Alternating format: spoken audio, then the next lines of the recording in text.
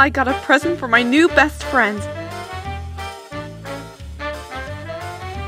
The great and powerful Trixie digs this. It's perfect for my collection. You know me so well.